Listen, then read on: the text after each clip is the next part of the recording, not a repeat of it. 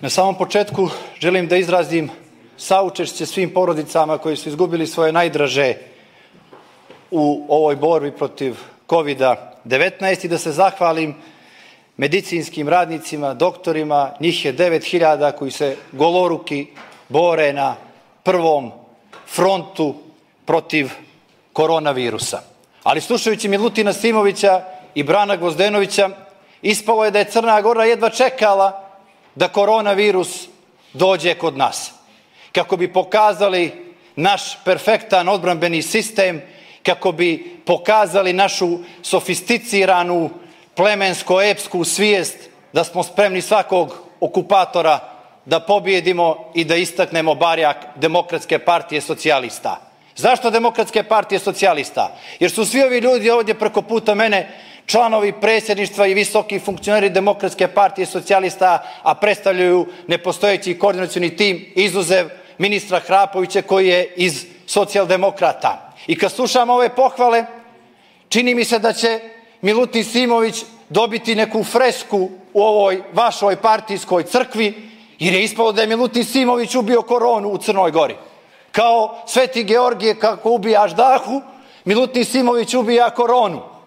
I vjerojatno, samo da ga čuvamo, njega će izvesti ove ostale zemlje Balkana, pa onda Evrope, pa svijeta, jer ovo što je uradio Milutin Simović, slušajući Brana Gvozdenovića i kolege iz Demokratske partije socijalista, to je suvo bogatstvo i naš najveći kapital koji smo našli u ovoj borbi protiv koronavirusa. Jer kad sve ovo prođe, poštovani građani, plašim se da će se Bemax i Genex sa autoputa prebaciti na psihijatrijska odeljenja da gradimo bolnice za mentalne bolesnike, jer se plašim da će više biti oboljelih od mentalnih bolesti nego što će ih biti od koronavirusa. A ko je prvi inficiran u Crnoj Gori?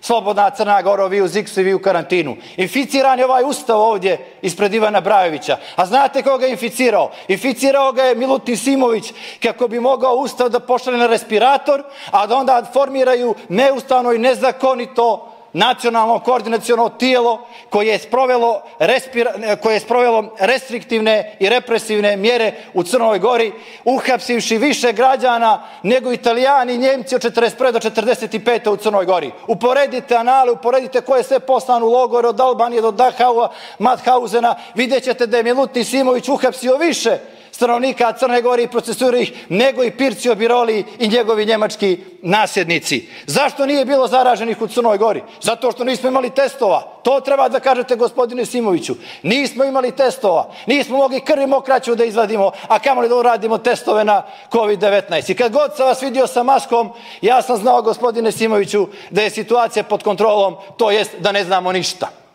To vam sad najiskrenije kažem.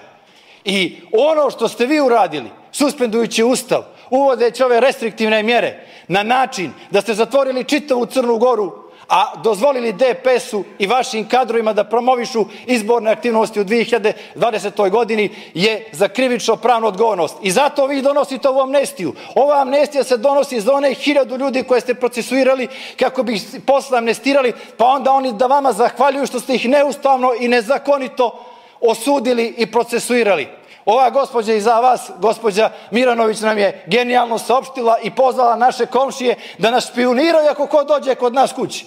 I da može policija da upadne u naše kuće bez dva svjedoka, bez naloga za pretres, jer to je po ustavu. Po kojem je to ustavu, gospođo Miranović? Po kojem je to ustavu da komšije špioniraju sa spratova druge komšije i gledaju je li moja majka iznijela kafu ili iznijela urmašice nekom mom stricu ili nekom mom rođaku ili dovoljna uh, socijalna distanca? Na osnovu čega ste, gospodine Simović, ako ste bili spremni, tražili pomoć od NATO-a, sva ona posteljina, dekice e, i pomade, jastuci, gumene lutke i sve ono što je bilo potrebno da se traži u borbi protiv korone virusa. Zbog čega ste onda među ostalim građanima uhapsili mitropolitan Filohija i sveštenike Srpske pravoslavne crkve jer želite da zabranite litije kad prođe ova pandemija? Kako mogu Bemax i Voli da rade? Kako može Glosari da kupuje respirator 19.000 evra, a onaj gospodin Brčak, humanista i veliki čovjek ih plaća za 5.000 evra? Zašto ste Glosari Rosariju dali 700.000 evra vašoj partijskoj DPS firmi? Zašto ste voliju dali 100.000 evra koji u prva, prvih nedelju dana imao četvoro, četvoromjesečni obrt kapitala? Znači, završavam za 10 sekundi, slobodni građani, Duška Jeknić je dobila milion i pol hiljada evra da joj se restaurira paviljon 15. aprila je raspisan tender da se restaurira paviljon u Dubaju, a mi euro pa euro ovdje skupljamo dok se narod posle pandemije ne pobuni i ne krene se u novu raspodjelu društvene dobiti gospodinu Simo, gospodine Simoviću, jer ste iz države iznijeli 5 milijardi evra vaši tajkuni, vaši političari i vaši državnici i te pare moraju da se vrate ako želimo da spasimo Crnu Goru.